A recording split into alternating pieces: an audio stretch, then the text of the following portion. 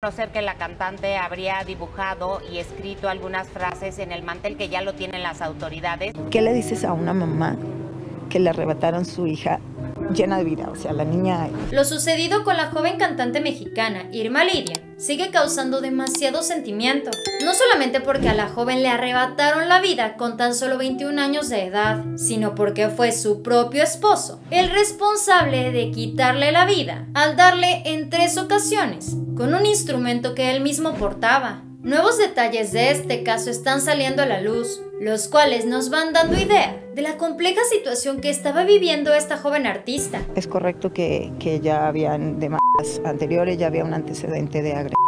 Después de que un testigo contara la manera en la cual el esposo de Irma Lidia, Jesús Hernández, le arrebató la vida a la cantante en pleno restaurante. Y es que varios medios de comunicación también dieron a conocer que ella ya lo había señalado legalmente en varias ocasiones. ¿Cómo puede ser posible que le quiten la vida de esa manera a una, a una, a una niña? Ahora también trascendió que esta joven escribió en el mantel varios mensajes antes de que su esposo le quitara la vida. Varios medios mexicanos dieron a conocer que la joven dejó varios mensajes escritos en el mantel de papel, el cual cubría la mesa en la que estaba sentada con la persona que literalmente le arrebataría la vida frente a muchas personas. ¿Qué le dices a una mamá que le arrebataron su hija llena de vida, o sea, la niña... Con estos mensajes nos podemos dar cuenta de lo que estaba viviendo la joven. En la foto de este mantel de papel, podemos ver cómo Irma Liria había escrito las siguientes palabras. Problemas de sangre, tacha, diabetes, deshonesto,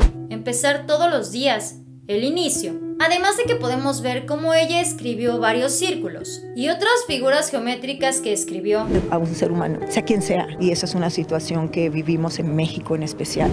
Ahora, este mantel ya está en manos de las autoridades. Según dio a conocer Foro TV, la Fiscalía de la Ciudad de México ya tiene en sus manos este mantel de papel para asegurarse que efectivamente lo haya escrito Irma Lidia. Con esto las autoridades pueden obtener muchas más pistas sobre las cuales pueden investigar. Te digo, a mí no me corresponde mucho hablar de las cosas de familia, a mí no me gusta. Los avances preliminares que se conocen sobre este caso indican que Irma Lidia junto con su esposo, Jesús Hernández, comenzaron una serie de dimes y diretes acerca de su separación cuando de repente él sacó este instrumento, que por cierto no ha aparecido en la escena, y le dio a ella en varias ocasiones arrebatándole la vida.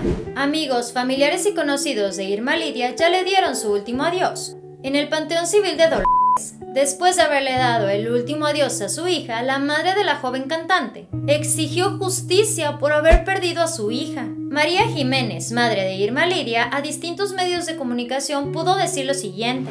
Yo quiero justicia para mi hija, que no quede impune para todas las mujeres que han sido lastimadas o asesinadas. Es lo único que puedo decir ahora.